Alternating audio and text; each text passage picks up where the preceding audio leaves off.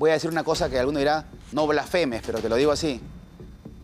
La precisión de Modric, ¿Cueto la ha tenido o no? Modric. No, hablo del ritmo, no hablo del No la tenía. Te no, digo porque Cueto te la podía dar un precisión. pase de 40 metros. O sea, y te el la pase, dejaba el así. pase que le hizo Modric a, Bence- a Benzema fue. No, No, a Rodrigo. Rodrigo, tres dedos. Ya, ese Pero pase lo te lo, hacía, Cueto- pero- te lo hacía Cueto mirar, de todas maneras. sin mirar. Igualito. Sin mirar. ¿Te lo hacía Bueno, o El no? pase de Cueto a Barbadillo en, Ahí está, ese. en el Ese es, yo no he visto un pase así Sí. muchas veces. No, no la No, porque además la jugada previa es. O sea, la jugada previa la hace hoy día cualquier jugador. O sea, lo que dice Gareca, ¿no? Eh, Esa jugada de Cueto en el 85, metiéndose entre dos, No, vale. saltando entre, entre Justi y Russo, me parece que es. Y, y metiendo un. Ah, es un 3 2, porque Cueto es zurdo, estaba por la derecha, Claro. metiendo ese 3 2 entre los dos centrales para que después Barbadillo lo haga aún mejor. Es, Entonces, para mí Cueto está en el póster. es de los dioses, está en nivel dioses de dioses. Eh, eh, he tenido alguna vez la suerte de jugar fulbito con él. Eh, es imposible, no se puede. Tú le das la bola y... eh, Se le esconde como nadie. La esconde, te la toca, te la devuelve, te da vergüenza poder este, tener que jugar Sí. eh, alguna vez. Bueno, Cueto. ¡Ay, ay, ay, ay! Aguanta, aguanta, aguanta. Yo lo dije. ¡La tocó, la tocó! Este 4-4-2 se las trae. Esto es... ¡Al ángulo! Vamos a comenzar con el gran José Antonio Chávar. Dame tus cinco mejores jugadores que tú hayas visto de tu tierra natal, del Perú. Qué difícil, hermano. Pero bueno, no puedo o no debo contradecirme, al menos no tan fácil. César Cueto, Teófilo Cubillas, Julio César Uribe, mm, Claudio Pizarro y... Wow, que yo vi. El Cholo Sotil. Recapitulamos. Guerrero, Cueto. No, no, Guerrero, no. ¿no? Guerrero no lo me... No, no, no. Ah, ya. Cueto. ¿Ves? ¿Ves qué? Pero, ¿qué pasa? Cueto, esto. Teófilo Cubillas, Cubillas. eh, Julio César Uribe, Ajá. este, Pizarro ujú. y el Cholo. ¿Ya ves? ¿Quieres explicar un poquito alguno de estos No, antes que en redes, ahora al menos no. antes que en redes te quiera No, te- no, no, yo voy a esperar que alguien, que alguien se levante y, y se siente escandalizado, ¿no? Como ayer se sintió ¿Yo puedo hacer un porque no comentario de tu, de tu- primero. de tu listado? Por Uy, dame favor, repolémica, dame repolémica. Por, por favor. Eh, no hay uno de la U.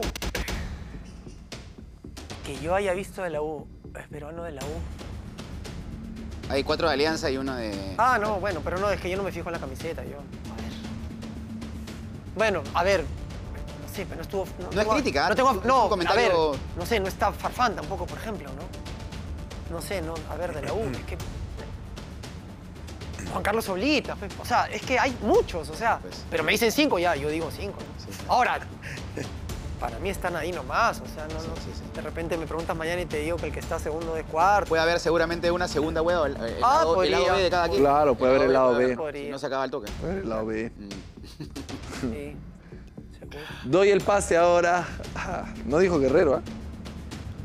O de, El lado B de repente. Doy. Bueno, no, el, no. el lado de B de repente está.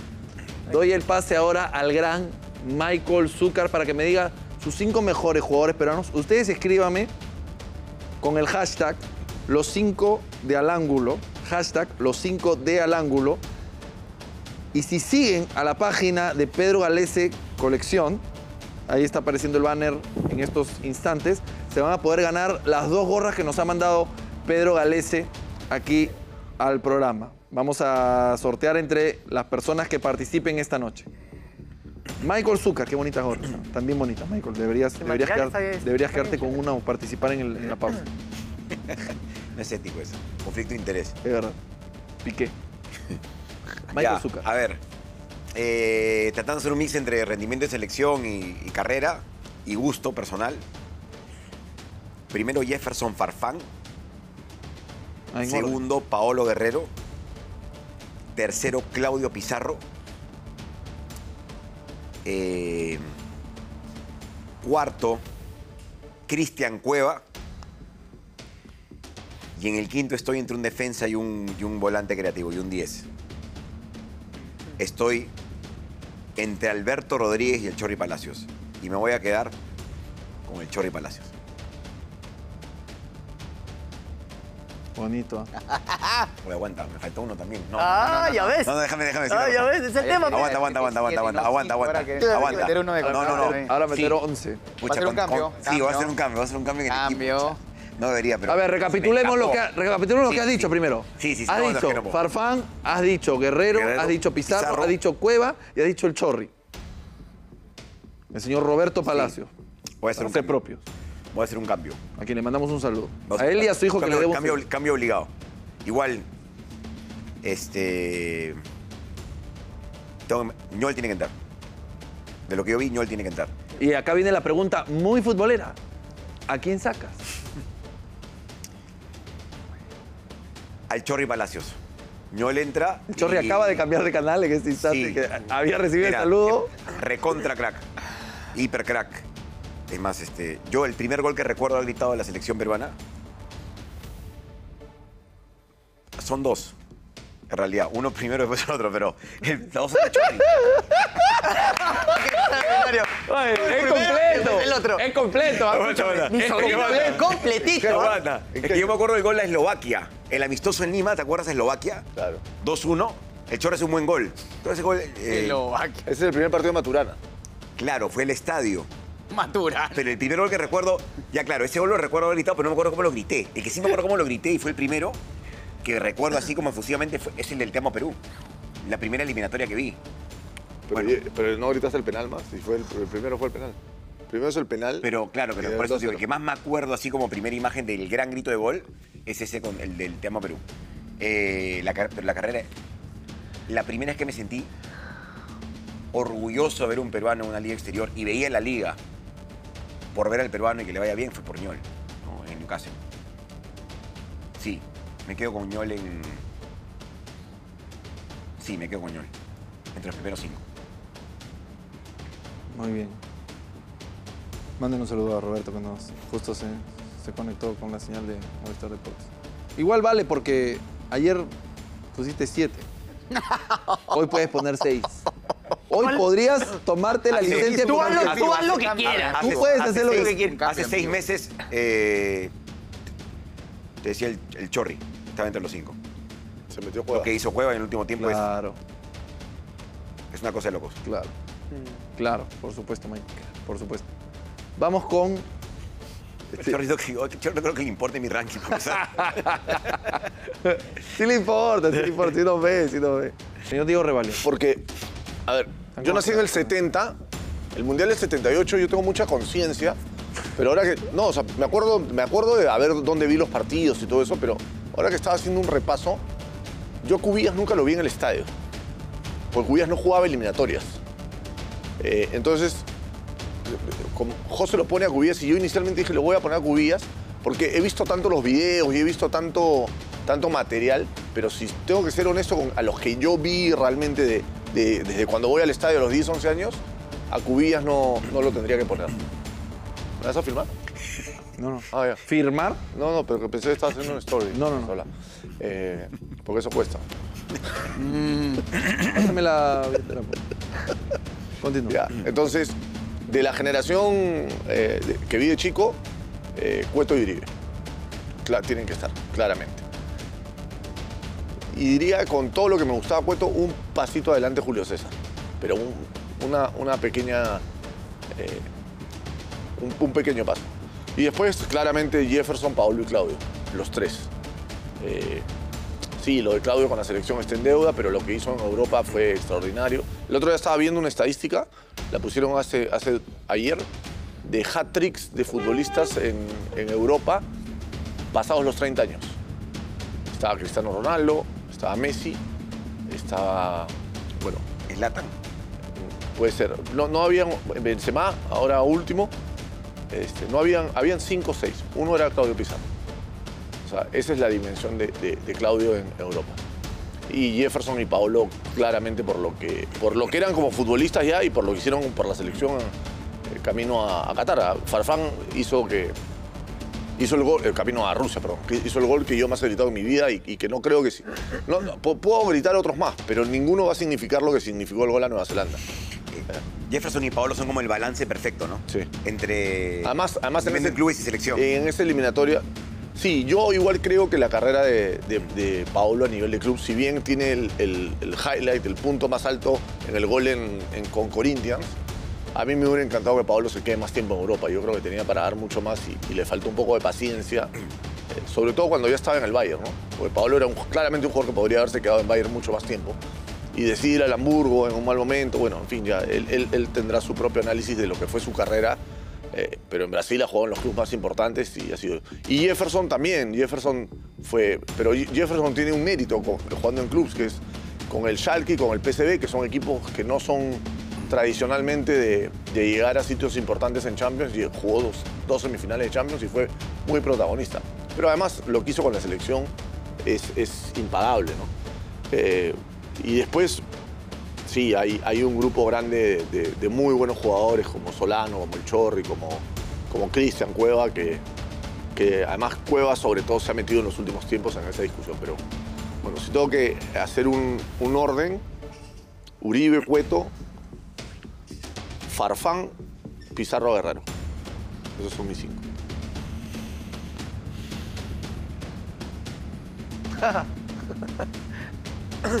Uy. A ver. ¿Qué tenemos? Menos una hora, ¿no? Quiero anunciar algo. Terminando Pedro García, vamos a hacer la segunda ronda con su lado B. Vayan preparando los demás. Del 6 al 10. Los que no entraron en esa lista de 5 porque ya estaba un poquito apretada. Señor Pedro García, sus mejores 5 jugadores peruanos de fútbol que usted vio con conciencia. En vivo y en televisión. Es buenísimo eso de en vivo y en televisión, pero que tuviste conciencia y los, Claro. Y lo seguiste, ¿no? Y te emocionaron y todo. Yo creo que es una aclaración, porque cada quien ha hecho una especie de matiz en la elección, ¿no? Diego dijo que lo que había visto en el estadio, yo coincido con eso. Yo a esa precisión quiero añadirle algo más. Eh, yo Cubillas lo vi recién, ¿sabes cuándo? Cuando volvió después de la tragedia. O sea, ahí sí lo vi. Que jugó una temporada y Que media. jugó una temporada y media en Alianza. Sí, claro. Ya, evidentemente, se notaba la calidad que tenía- pero no era, no era lo mismo, ¿no? Claro. no era lo mismo, pero. Es más, estaba retirado y volvió al fútbol. ¿no? Claro, estaba, eh, se retiró antes de eso y Y, volvió. y para- podías ver a algunos estadios. Y, es más, alguna vez me ha tocado jugar con él en la Peña los jueves y, y ya con la rodilla te das cuenta que era una cosa extraordinaria. Pero bueno, A Cubillas, a quien no lo voy a elegir por ese mismo motivo, cubriendo el Mundial de Francia, él fue como, como Cubillas al Mundial, ¿no? Él siempre va a los mundiales porque la FIFA Él es lo parte de la contratado como una especie de. ¿Cómo le llaman? él está en un comité técnico. no, pero técnico. está en el comité técnico. Claro, hace informe de los partidos. Sí. O sea, él va y desde su Va a de ¿ah? ex va a chambear, hace informe de los partidos. En su momento, Cachito Ramírez lo hacía también. Sí. Hay jugadores que son de la historia de la FIFA de los mundiales que los contratan para que, o sea, son parte del club Sí. y van a hacer informe de los partidos, informe técnico. Este, y queden los registros como neutrales, ¿no? Puntos Que esa es una de las cosas más alucinantes de estar en un mundial, por lo menos que a mí me pasó en Rusia, que es cuando vas a la sala de prensa y de repente ya no sabes a quién mirar. Hasta que está- que claro, está- porque empiezas su a, madre, estás ahí, está- estaba baldando en un sitio, estaba, o sea, ves cada figura. Eh, te vuelves La loco. televisión ingresa está Lineker ahí y dices, ¿qué es esto? Esto es como, para mí, ¿Qué era, hago? para mí era Disney, o sea, yo iba, yo estaba acreditado yo, en, en Luzhniki se llamaba, ¿no? Luzhniki. Luzhniki, sí. Ya, no podía a veces ver los partidos porque había poco sitio para prensa. Entonces te quedabas un poco en la sala de prensa y de repente, no sé, veías cada figura que tú decías, ¿cómo, cómo puede ser que esté viendo este- Claro. estos futbolistas así? Y tan cerca, al- tan algunos cerca, este, claro. y siempre produciendo No, y además todos tomándose una cerveza con la, con la corbata o acomodándose para casi todos saliendo en televisión. ¿no? estoicos, paraba por Ah. ahí, o sea, veías cada crack que tú decías no puede ser, ¿no? Y claro, to- en todos, en casi todos ves el paso del tiempo, ¿no? A mí me tocó estar en México, Alemania, por ejemplo, estaba, por un lado estaba Hugo Sánchez, que comentaba para la televisión Mm. Sí. mexicana, ¿no? Simpático personaje. para Cuauhtémoc conversar. Blanco también, que También. comentaba para Este es antipático personaje para comentar. Claro. Hugo Sánchez era simpático, eh, como comentarista, simpático en el trato, ¿no? Cuauhtémoc era más pesado, ¿no? medio Sí, pesado, no, no sé, yo, yo no soy de acercarme mucho. O sea, yo en eso sí soy medio, Sí, claro. medio tímido. No, Pero no- con verlos ahí era increíble, ¿no? Increíble. Es más, al único que lo, como que lo traté de perseguir para, pedirle una foto fue a Valdano, pero nunca lo, nunca lo llegué a, a agarrar en un momento que estuviera en una situación cómoda, ¿no? Porque no lo vas a agarrar en la fila cuando está viendo a buscar comida y darme una foto. Creo que hay momentos para eso. Hay momentos para meterte ahí, ¿no? Capaz te liga una conversación y eso es Claro, todo, ¿no? eso es más valioso todavía que una foto. Totalmente. Eso es lo, lo- Hay que buscar el momento, por supuesto. Bueno, Cubilla siempre está ahí. Claro, entonces, Cubillas ah, Atención, está ah, ahí. bien- ya vienen los cinco mejores jugadores peruanos de fútbol del señor ¿Sabes Pedro. cuál es buena para otro día? Sorry, un- Dale, dale. Ya vienen, ah, no se van a ir. Los cinco personajes, porque nosotros tenemos, hemos tenido mucha suerte, ¿no? De los cinco personajes del fútbol que conoces y que nunca pensaste que ibas a conocer. A ti te ha pasado, por ejemplo, Cafú, ¿no? Tú en Holanda debes haber conocido cada figura que tú dices, hasta jugado con ellos que tú dices. "E- Esa es, esa es buena, porque creo que tenemos suerte de conocer alguna, algunos que tú dices. A mí, por ejemplo, hoy día, cada vez que veo jugar a Modric y me acuerdo que lo entrevisté en Miami, digo, mira, mira quién entrevisté, ¿no? O sea, y, y conversé un ratito con él. O sea, son cosas que te da el fútbol que. Yo no podía creer cuando entrevisté a Rivaldo, gracias a la gestión de don Manuel Pasoldán. Ah, es Don Manuel Pasoldán. Sí, para esa gestión fue don. Ah, No sé por qué. Claro, ese día Tuvo ahí un se don, ganó, se ganó el título de don. don. Entrevisté a ¿Tú has Rivaldo. jugado con los, con los 25 hizo Man- minutos. Eh, ¿De Boer? ¿Puede ser? De Boer, sí. Claro. ¿Con quién? ¿De qué? Ah, no, jugado con otros. Ah, es otro, creo. Es otra, otros. otra pichaga, pues. ¿Cómo se dice? De Bur. La O con la E es U. De Bur, así como Kuman. Cuando le dicen Koeman, dicen Y ahí me- "Me lo, lo- amables, piojos". Riva- Rivaldo, Dunga, nosotros- Cafú, que he tenido chance de conversar con los largos, Nosotros en la pichanga hemos jugado con Uribe. hiper amables. Con, con Sí. Uribe. Lo agarró a Azúcar. Bueno, ayer estoy con él. Eh, Ayer así estoy y me, y me- y me dijo, no se, no se olvida que me decía, tú anda todas, tú pica nomás, una va a entrar. Una de 10 más o Y menos. la pelota te va a llegar. claro, la pelota te va a llegar. Muy, y está más flaco que nunca, Uribe. Está, Sí. bo- una boxea, con, entrena. Con Cafú almorzamos. Que eso ya fue. Nos puso el pasito tu diango. Sí, el pasito tu diango. No, un genio. Le invitamos ceviche, le, regalamos un chullo. Es un Y Dunga, crack. que yo, y Dunga, que yo pensé que era como. bueno, no pensé, es parco. Este. Súper amable. ¿Ah, sí? recontra amable. Por la- Yo una vez por la- salí, salí a comer en Lima con Enzo Francescoli. Ah, su madre. Vino a un Perú-Uruguay. En esa época Chemo era técnico de Cristal. Y lo, después del partido fuimos a comer. Con Enzo Francescoli. Yo no lo podía creer. no. Escucha mi lista. A ver, Este. ver. Cueto. Esto, lo único que quiero decir es que, y por lo que acabo de conversar, en el tema de la fascinación por un jugador o no, yo quiero hacer una lista en donde eh, coloque a los que yo pondría en, en mi pared como póster. Yo lo tengo, yo lo tengo a cueto así. Yo te, en mi- en entonces, mi yo tengo, yo te voy a poner el cinco, po- podría poner más pósters. Obviamente, te voy a tengo, decir, obviamente tengo a Lolo, pero a Lolo no lo vi, ¿no? te voy a poner cinco que yo pondría en un póster en mi cuarto o en mi sala o en mi donde tengo mi biblioteca para leer. Cinco. Que yo los pondría por admiración, por fascinación y por todo lo que hemos dicho. Eso hago esa salvedad porque me van a decir, ¿cómo no pones a Paolo? No lo pongo. Porque no está en mi póster. ¿No? Con todo respeto lo digo, ¿no? Más allá de su calidad goleadora, de su gran trascendencia como jugador, yo no lo pongo en mi póster porque por motivos este, futbolísticos, si quieres. Y O de- emocionales, por o- impacto y- emocional. y De todo, y emocionales y tal. Entonces yo quiero poner a Cueto. ¿no? Cueto era un jugador que hasta cuando se equivocaba jugaba bonito, o sea, estéticamente era insuperable. Eh, se paraba bonito, tocaba bonito más allá de eficazmente. Jugador, no por gusto, era el poeta de la zurda, ¿no? Jugador impresionante, Cueto. Eh, lo que valdría Cueto hoy día, ¿no? lo que valdría. No, no tendría precio. No tendría precio. Ese jugador, si, si hoy día Cueto tuviese las, eh, sus 24 años, sería jugador de la selección, sería titular este, y no Le- jugaría en Perú, jugaría, jugaría, no sé dónde jugaría, pero, pero jugaría en otro lugar. ¿no? Eh, voy a decir una cosa que alguno dirá, no blasfemes, pero te lo digo así. La precisión de Modric, ¿Cueto la tenía o no?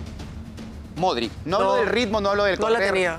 Te no, digo porque Cueto te la podía dar un precisión. pase de 40 metros. O sea, y te el la pase, dejaba el pase así. que le hizo Modric a, Bence- a Benzema fue No, a Rodrigo. Rodrigo, tres dedos. Ya, ese Ese pase lo te lo, hacía, cuento, pero- te lo hacía y sin Cueto mirar, de todas maneras. sin mirar. Igualito. Sin mirar. ¿Te lo hacía Bueno, o El no? pase de Cueto a Barbadillo en, Ahí está, ese. en el Ese es, Monumental. yo no he visto un pase así Sí. muchas veces. No, no la No, tengo. porque además la jugada previa es. O sea, la jugada previa la hace hoy día cualquier jugador. O sea, lo que dice Gareca, ¿no? Eh, Mm. Esa jugada de Cueto en el 85, metiéndose entre dos, No, saltando entre, entre Justi y Russo, me parece que es. Y, y metiendo un. ah, es un 3 dedos, porque Cueto es zurdo, estaba por la derecha, Claro. metiendo ese 3 dedos entre los dos centrales para que después Barbadillo lo haga aún mejor. Es, Entonces, para mí, Cueto está en el póster. es de los dioses, nivel dioses de dioses. Eh, eh, he tenido alguna vez la suerte de jugar fulbito con él. Eh, es imposible, no se puede. Tú le das la bola y. Se eh, le esconde como nadie. La esconde, te la toca, te la devuelve, te da vergüenza poder este, tener que jugar eh, alguna vez. Bueno, Cueto. En esa línea, Uribe. Uribe era, te volvía loco, ¿no? Es la pista llevada a un campo de fútbol. Es la pista, esquivar carros en una cancha o en una pista medio pedregosa, medio irregular, es Uribe. De ahí lo sacaron a un campo de fútbol. Tenía toda la habilidad, sabía todo. Seguramente no tuvo la información para tener y seguramente no la tranquilidad tampoco para ser mejor de lo que fue. Él debió quedarse en Europa años, años. Y alguna vez de repente por el carácter tuvo que regresar, pero la- para jugar en el 82 en Europa, en Italia, había que ser muy bueno. Muy pocos. Muy, Muy, po- bueno, muy porque poco. había el cupo, Había eran dos dos. Dos Dos cupos por por equipo. Dos por equipo. Y ser sudamericano y jugar allá, en, digamos, en, en Italia podía jugar un español de repente. No, de hecho, jugaba, por ejemplo, Zico jugaba en el Udinese, no jugaba en un equipo. Claro, Maradona en el, en el Napoli. en Napoli. Bueno, Cubilla se fue a jugar al Basel, por ejemplo, Claro, en pero Suiza, eso ¿no? fue incluso antes. Pero en la liga italiana Después del Mundial del 82, 82, claro. por ejemplo, los dos extranjeros de, de Fiorentina eran Pasarela y Sócrates. Pasarela, claro. Pasarela de y, y Sí. en, en el Cagliari que estaba Julio César, ¿el Cagliari era? Sí. El Cagliari. El Cagliari que estaba Julio César.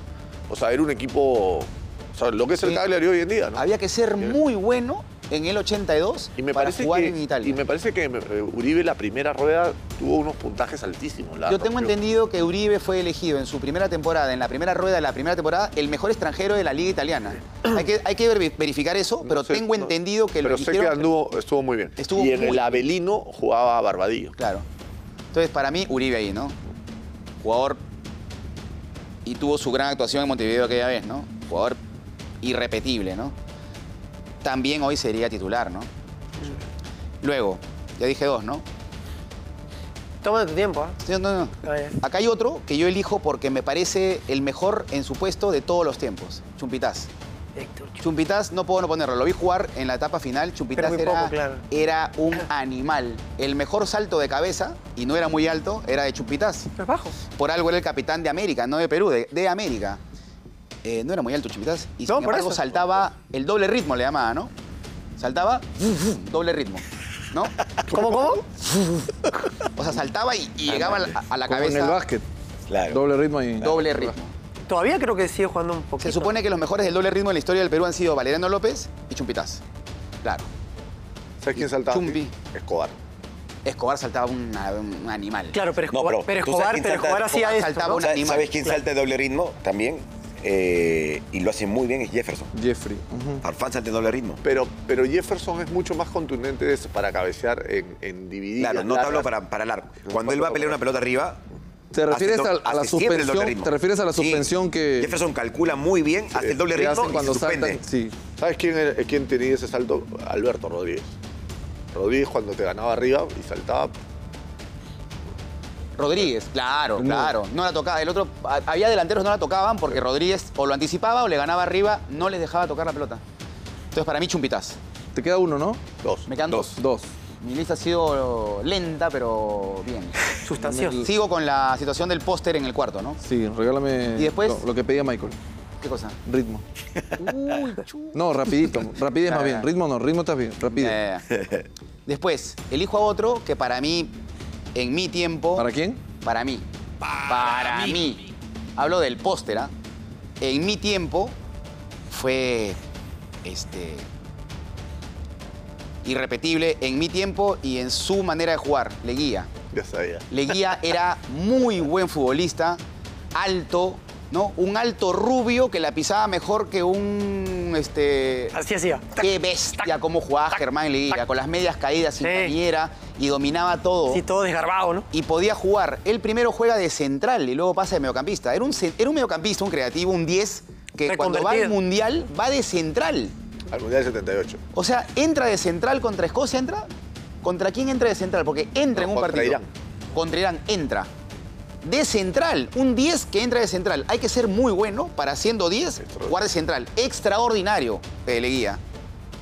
Extraordinario. Hoy, por un tema físico, porque él en su tiempo era más trotón, por un tema de altura, no tenía... eh, Bueno, el siguiente Mundial lo jugó de puntero. pero mentiroso. pero mentiroso. Este, entonces, para mí, en el póster también. En el póster, con admiración y respeto y fascinación ante él, porque Germán Leía era el fútbol. Y era, me, me gustaba porque era otro corte. No era el delantero rápido, no era el quimboso eh, pericotero. Si algo no era de la pericotero, era un Pero, jugador. pero No, tenía buen pero regate, era, ¿ah? sí Tenía era, buen no, regate. Está bien, Pero la no digo que no, pero no era el, no era, por ejemplo, eh, no habría pasado Leguía entre Trocero y Justi. Sí, no, no puede, en otro no, juego. no. Entonces, Germán Leguía. Y te queda uno, ¿no? Sí. Y para mí, otro que para mí siempre ha, ha generado mucha fascinación y fascinación inclusive, fascinación en el momento en que recién entré de periodista. Y dije, este, o sea, eh, es como me lo imaginaba, un poco como me lo imaginaba y como lo vi. Y yo realmente tuve mucha y tengo mucha admiración por Ramón Quiroga, el loco Quiroga. Eh, por, ahí está el viejo. Está. el loco, que me emociona, ¿sabes qué? Este, eh, porque eh, él es historia viva y está acá. Está acá.